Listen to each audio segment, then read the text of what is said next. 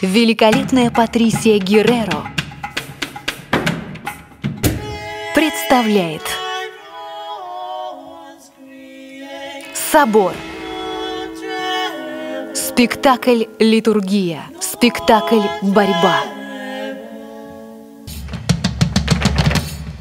Под звон колоколов в архитектуре света и тени Под накаляющиеся ритмы и плач гитары В священном танце борьбы мирского и духовного Дьявольского с божественным Сквозь страхи и давление общества Боль и сомнения К освобождению и ясности К открытому сердцу к божественному истоку.